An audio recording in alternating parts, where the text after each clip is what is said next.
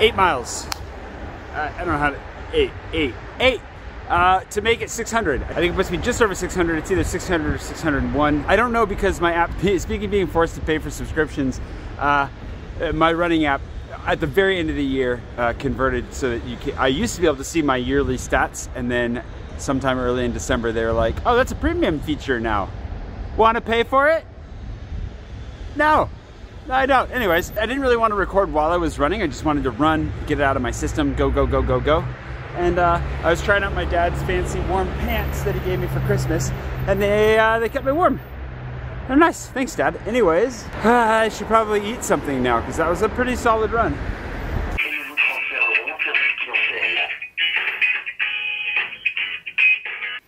Very familiar uh, hold music at this point.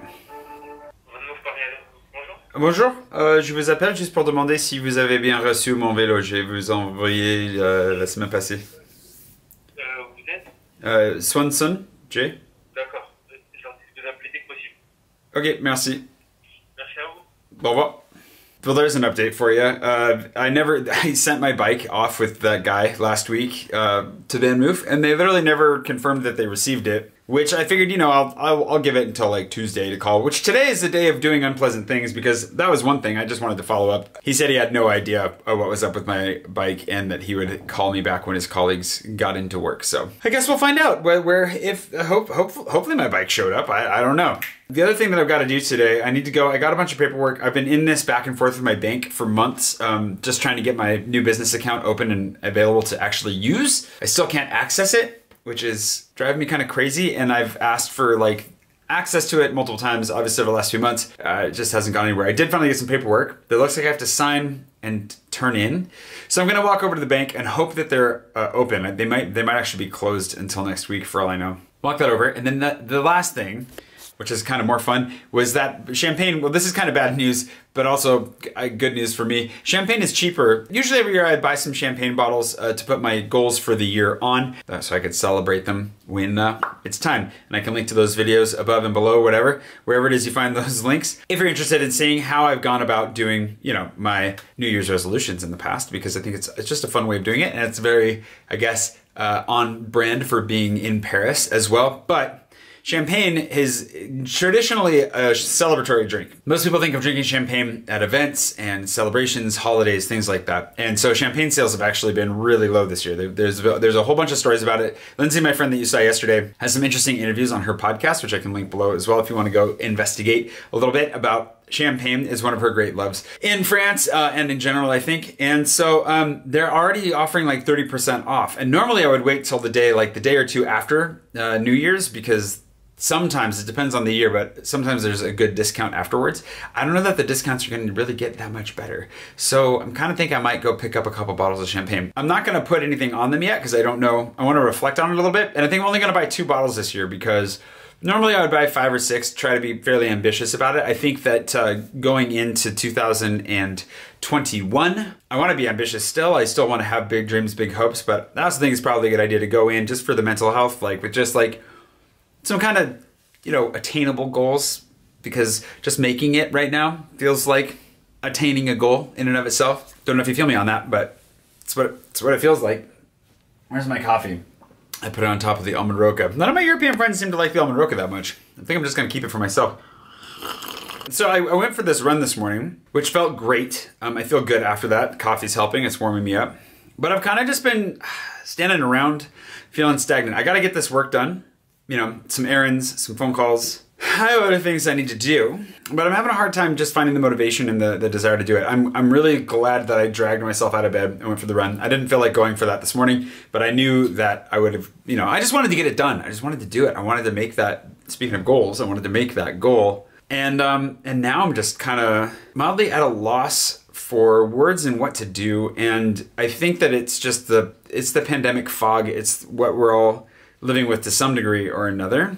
And I don't know what to do to change it, especially because we're going to find out today or tomorrow whether or not we're going into a more strict lockdown again.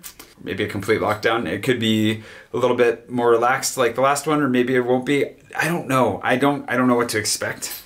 But I think that that it's not even the not knowing. I think that now that we've been through a couple of them, and curfew, which really annoyed me at first and now doesn't bother me as much, especially because it's so dark so early right now. I guess maybe I feel kind of resigned to where we're at.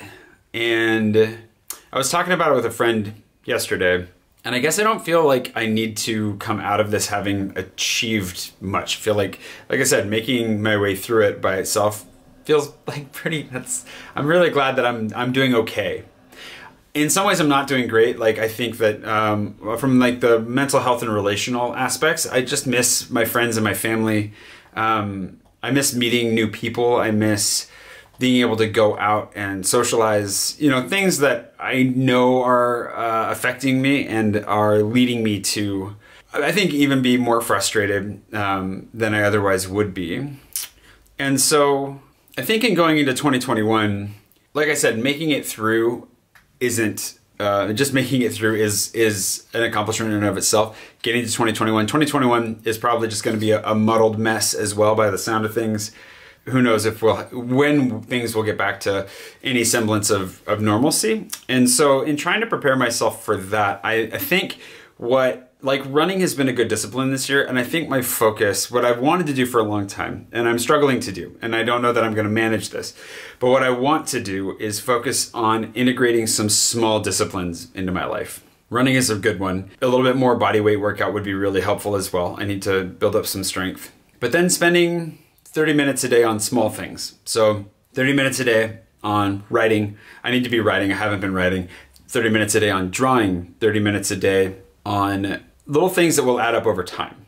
So that I guess I, I kind of want to prepare myself to come out of this ready to, to, to, to get moving. And I guess what I'm fighting against and what I feel is pulling on me is that sense that I'm gonna get I'm if I if I if I let myself give in to that desire to just stay in bed, if I basically lose the momentum and give in and, and build up a sense of inertia, it's only going to be that much harder to overcome that inertia on the other side. And it's taking extra effort and work and some creativity to fight that now.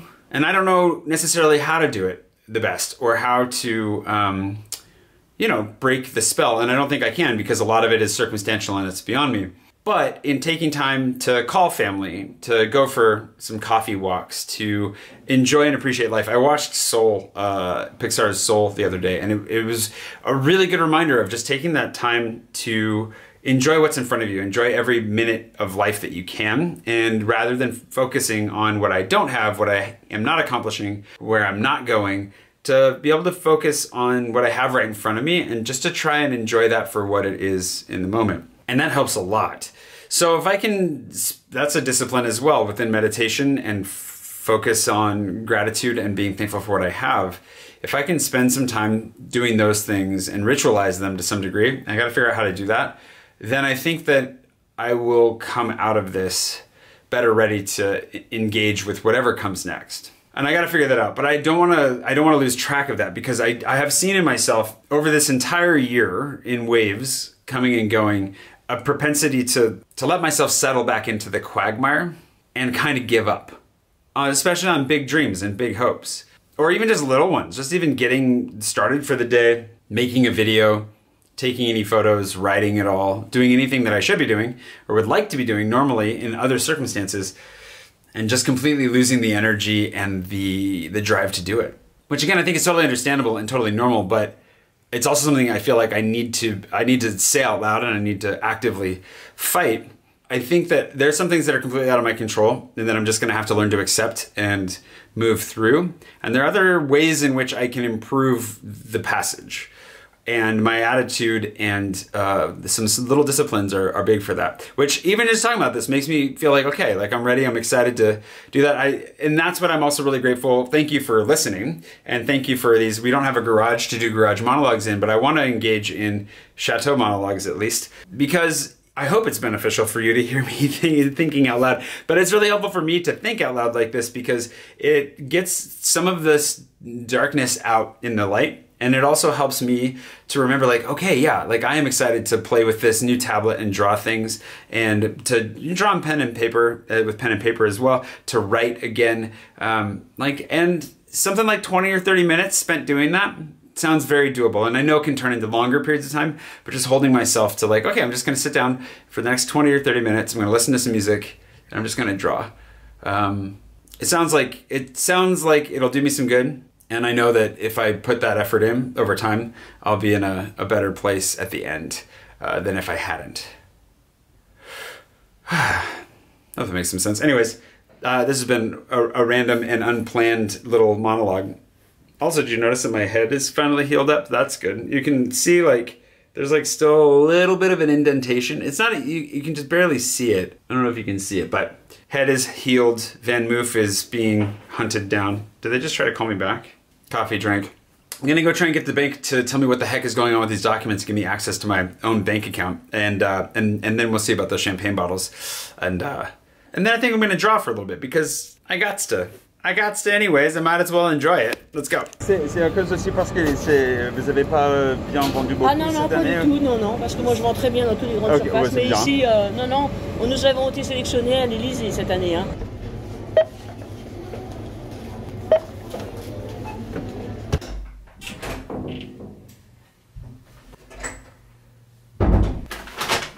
I was looking for the friggin' uh, discount thing that I saw the other day, which maybe I just missed it. I don't know.